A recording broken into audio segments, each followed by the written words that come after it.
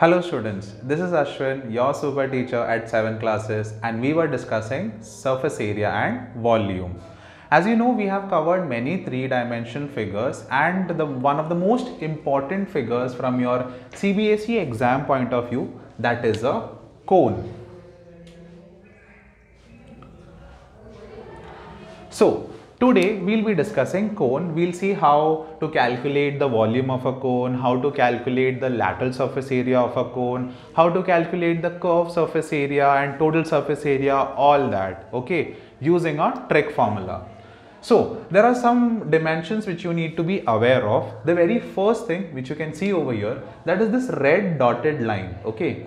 This particular point of a cone is known as the apex, apex of the cone from the apex of a cone, if we drop a perpendicular, it will exactly intersect at the base.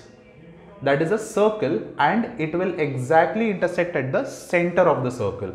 This particular height is known as the height of the cone.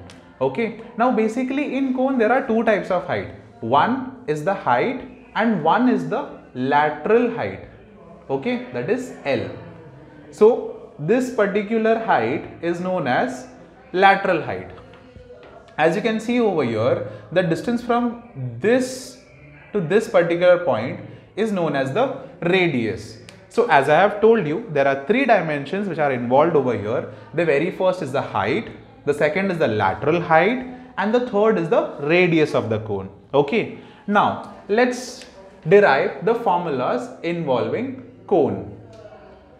The very first formula which we will be seeing is a volume. Okay. Now, as you know, I have given you shortcuts to calculate volume of different 3D structures. Similarly, I am going to give you a small trick formula or master formula which will help you in deriving the volume of a cone. And the trick formula is 1 by 3 into base area into height. Okay, let's try to understand this in detail. As you know, this 1 by 3 will be constant. Now, base area, everybody knows. What is the base of a cone? The base of a cone is nothing but a circle. And area of a circle is what? Yes, exactly. Pi r square into height. Now, over here, be careful. We are talking about the actual height of the cone and not the lateral height or slant height okay? So just talking about the height so that is going to be h. So from here i'll get what? 1 by 3 pi r square h. That's it. So that's your volume of a cone. Let's talk about csa that is the curved surface area or it is also known as the lateral surface area. Now over here also I have a trick formula for you uh, which I'll be showing you.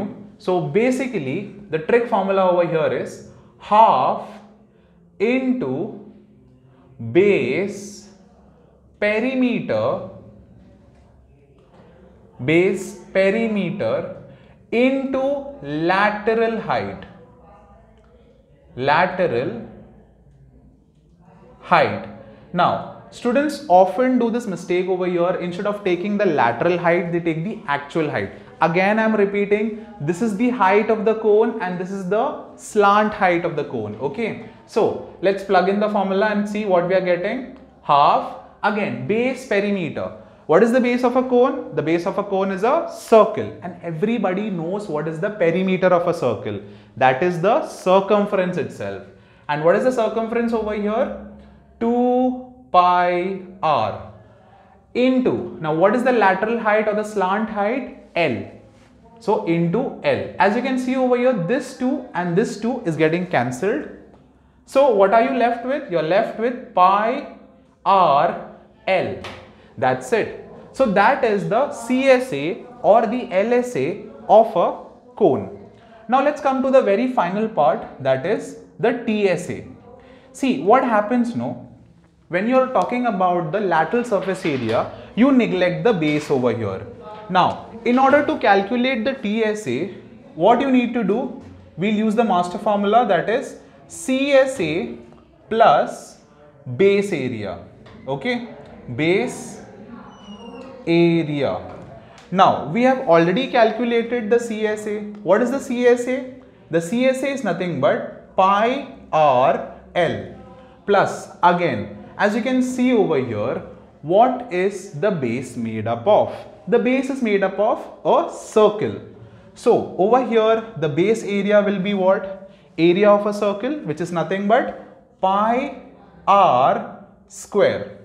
So as you can see over here the formula which we will be getting over here is uh, so you can see you can take pi common so that will be pi and you can take one r also common so pi r and you're left with L plus R.